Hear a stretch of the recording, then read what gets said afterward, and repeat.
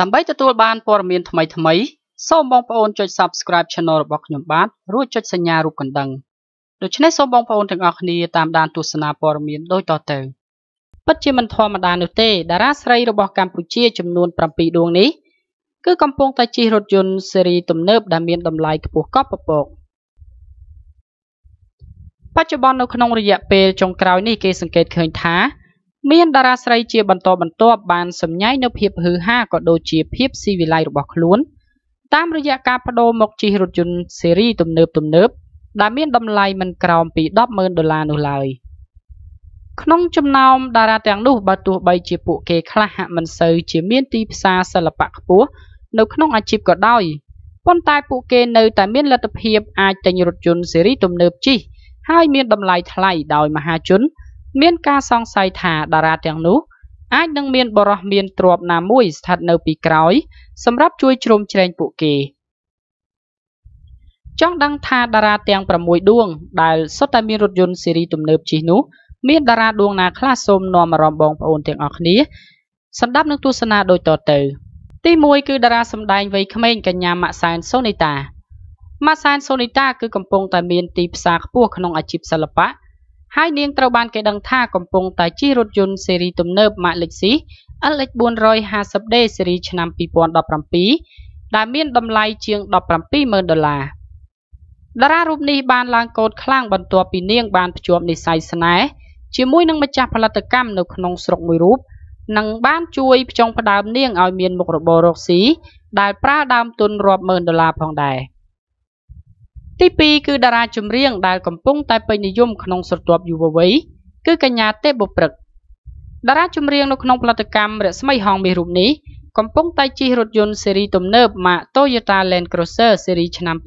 2010ដែលមានតម្លៃប្រមាណ100000ដុល្លារអាមេរិកការប្រើប្រាស់រថយន្តស៊េរីទំនើបនិងថ្លៃពីតារារូបនេះហាក់មិនមែនជារឿងមួយចម្លែកនោះទេ ក្នុងពេលដែលនាងកំពុងតែមានការងារកាក់កបយ៉ាងខ្លាំងនៅក្នុងអាជីពរបស់នាង ខណៈដែលនាងបានចាប់ដៃជាមួយនឹងតារាចម្រៀងជីដេវីតដែលកំពុងតែមានទីផ្សារសិល្បៈខ្ពស់ដូចគ្នានោះ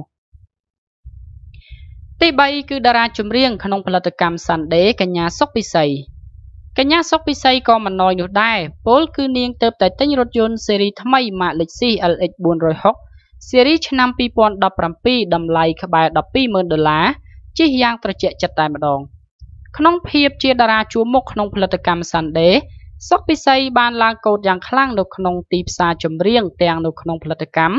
និងការចេញសម្ដែងនៅលើឆាកតន្ត្រីនានាជាពិសេសការឡើងកាលីបរថយន្តស៊េរីទំនើបនេះដោយសារតែនាង អាចរកប្រាក់បានយ៉ាងក្រាស់ក្រែលពីសិល្បៈខណៈដែលនាងកំពុងតែស្ថិតនៅក្នុងការសង្ស័យថាកំពុងបង្កាត់ភ្លើងស្នេហ៍ជាមួយនឹងកូនថៅកែផលិតកម្ម Sunday នោះគឺលោកឡាយសុកចម្រើនតែម្ដង។ ទី4គឺតារាសម្ដែងកញ្ញាពៅលីដា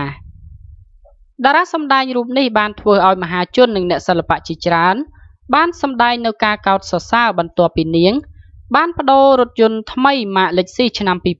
2018ដែលមានតម្លៃប្រមាណជាង200,000ដុល្លារបើទោះបីជាបច្ចុប្បន្នទីផ្សាររបស់នាងហាក់មិនសូវងើបឡើងខ្លាំងដោយតារាមួយចំនួនទៀតក៏ដោយប៉ុន្តែ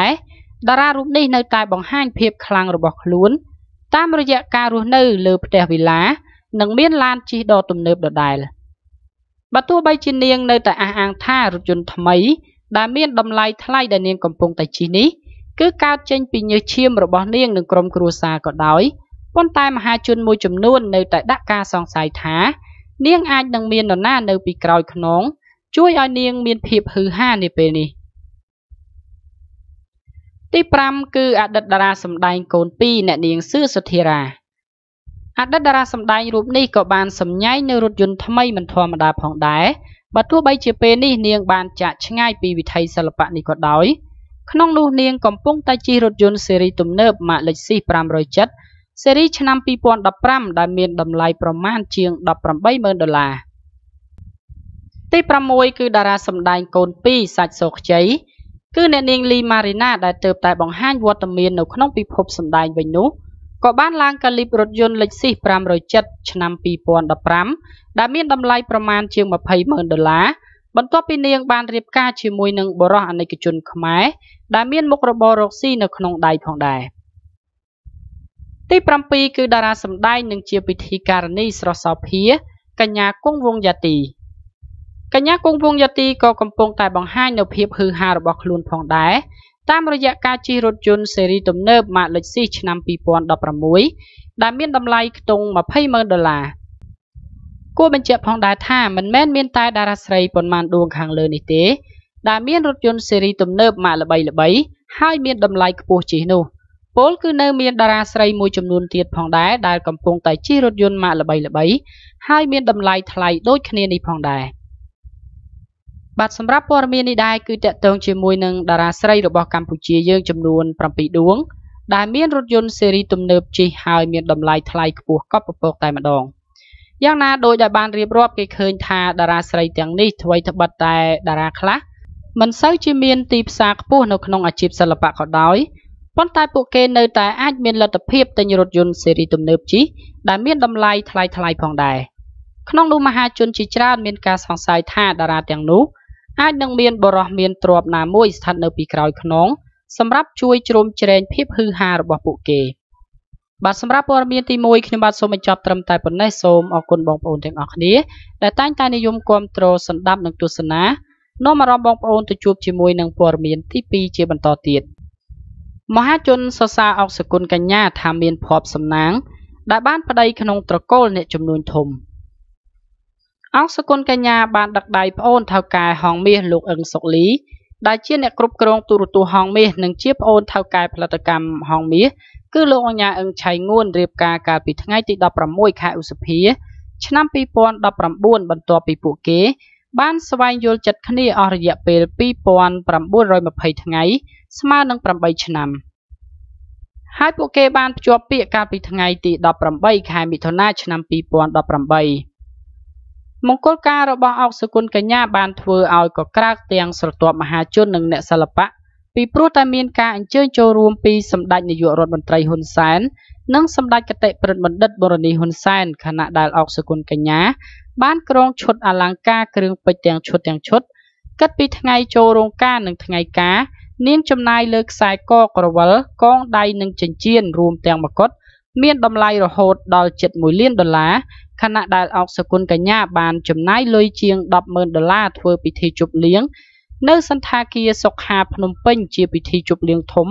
ដែលមានចំនួនរហូតទៅដល់200តុហើយក្នុងមួយតុគឺនាងចំណាយជាង500ដុល្លារសម្រាប់ភ្ញៀវជាង2000នាក់ដោយឡែករឿងដែលតារាសិល្បៈជាច្រើនរួមទាំងមហាជនផងដែរបានសរសើរអុកសគុណកញ្ញានោះគឺនាងជានារីតែម្នាក់គត់ ដែលជាតារាចម្រៀងហើយបានក្លាយទៅជាសមាជិករបស់គ្រួសារអ្នកជំនួញធំ